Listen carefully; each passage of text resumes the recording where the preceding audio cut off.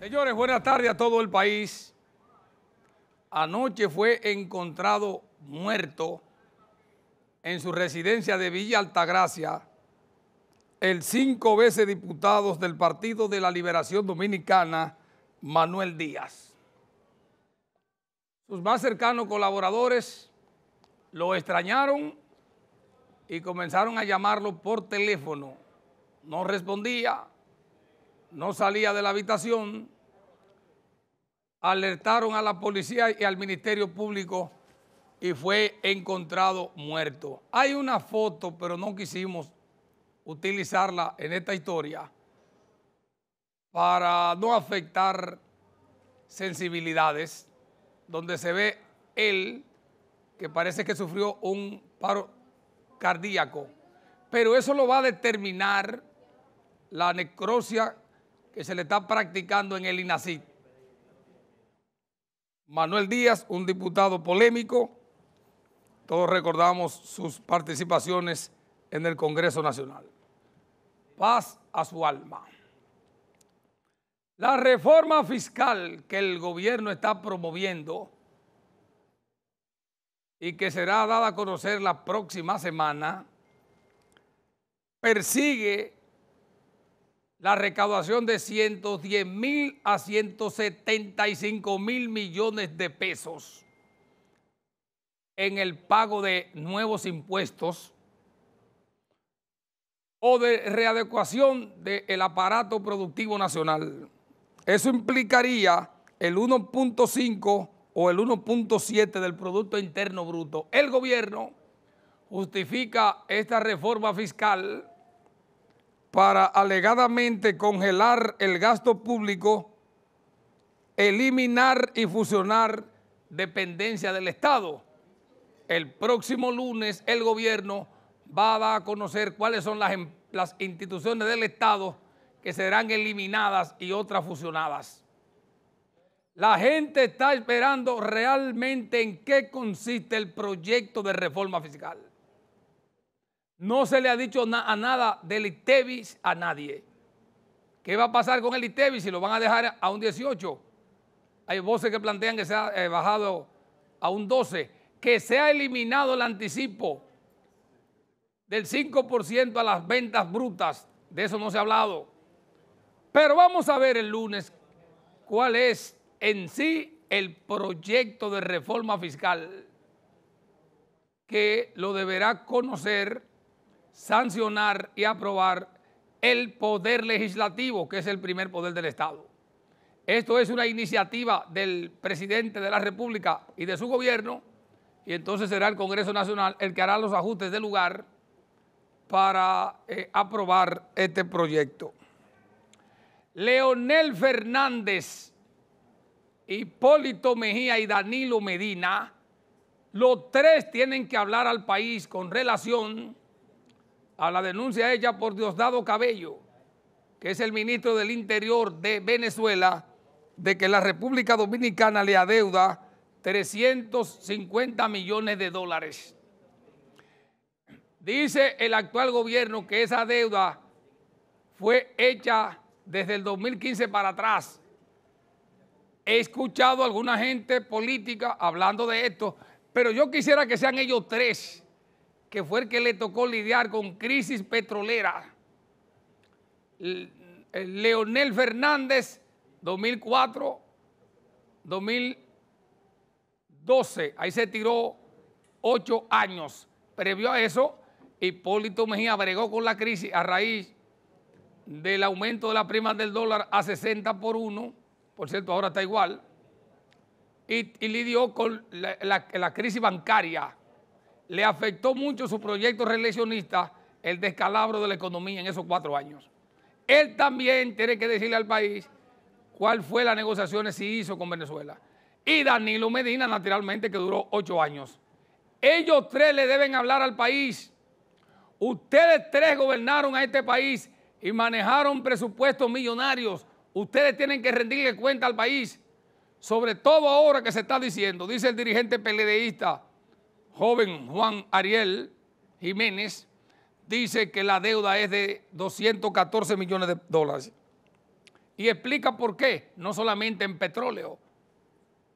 En petróleo le debe alrededor de 50 millones de dólares. Es en otros servicios y otros derivados. Pero ustedes tres tienen que hablar al país. Ustedes tres no se pueden quedar callados.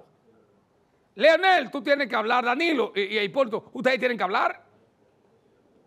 ¿En qué consistió? ¿Cuál fue el acuerdo que ustedes llegaron con Venezuela? Alguien dijo que no se le ha pagado a Venezuela porque hay un embargo económico, sanciones y la República Dominicana es aliada a Estados Unidos y por eso no ha podido pagar. Ese es uno de los argumentos que se dice.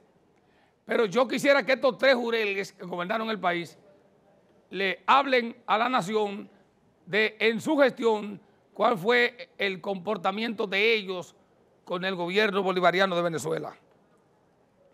El Indotel, el Instituto Dominicano de, las Telecomunicaciones, que ahora dirige el doctor Guido Gómez Mazara, está anunciando que va a intervenir las cárceles del país en materia telefónica.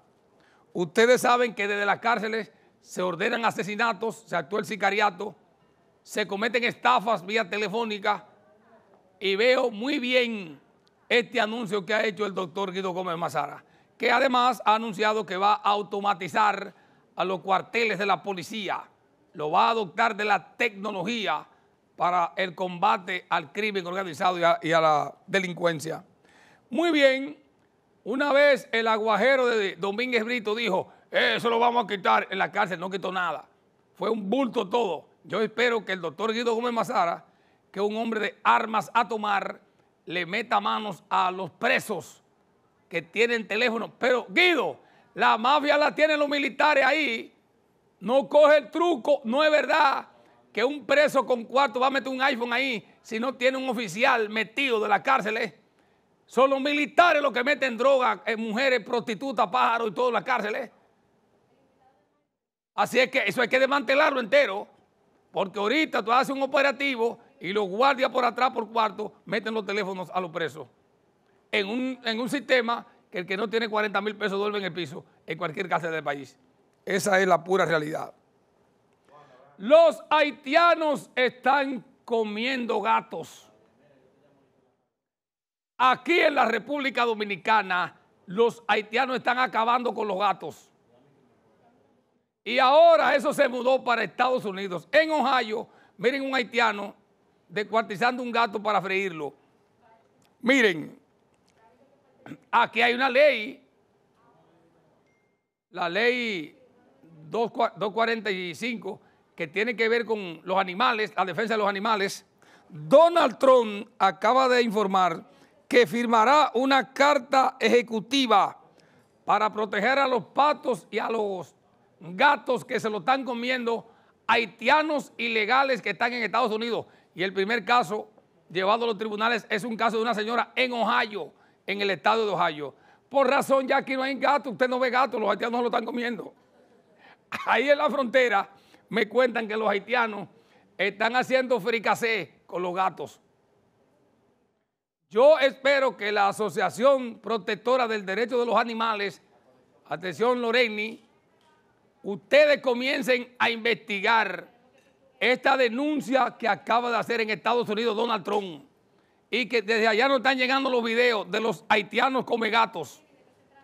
La verdad que la estirpe haitiana es una estirpe diabólica. Los haitianos son roedores por naturaleza. Acaban con el bosque, se roban los sembradíos, se roban todo y ahora están, se robaron los caballos y los burros, los que estaban comiendo ahí en la frontera, los burros. Los haitianos acabaron con la crianza de burros en la frontera y ahora están acabando con los gatos. Diablo, qué roedores son los haitianos. Qué plaga, Dios mío. Qué estirpe humana. Hay que evitar que esta gente siga avanzando en la República Dominicana. Póngale atención a la denuncia de Donald Trump, que por cierto va hoy a un debate con Kamala Harris, hoy, por los lados de Pensilvania. Así es que, miren, esta denuncia es gravísima los gatos, en la casa que hay gatos no entran ratones. Claro, los gatos de ahora perdieron agilidad. Antes decían que los gatos tenían siete vidas. Ya en cualquier esquina tú encuentras, un gato aplatado ya. muerto, porque los gatos cuando un vehículo lo enfoca de noche pierden la visibilidad cuando le da de frente. Atención a combatir a los haitianos come gatos, aquí y allá. Uno se ríe porque eso yo no lo había visto nunca, comiendo gatos. Miren, finalmente, atención charlatanes de Amnistía Internacional.